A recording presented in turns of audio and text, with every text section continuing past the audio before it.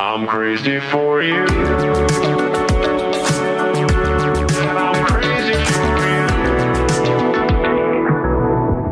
If you guys wanna know how I made this eye with voiceover or more detailed version, you can watch this video, you can click right here, it should be on top of the director video right now.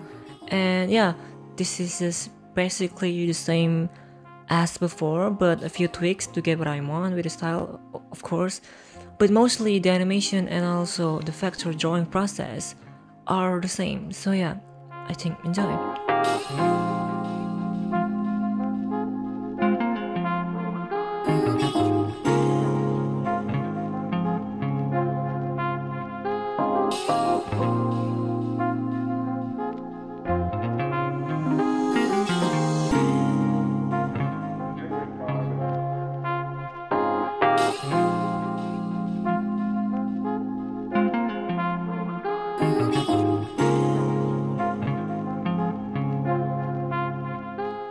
So I think this is the part that looks so very different from my that one video, my previous video, because this is literally the different pupils and also the eyelid that I've used in this particular eye model because yeah, I think it's pretty cool for the style and it's just really easy to, to do. You can just copy mine and also it's just simple pupil with like stretch circle and also round circle repeat and the eyelid is also just a duplicated uh, base shape of the eye and also black color and just a, a few adjust for each point of the vector.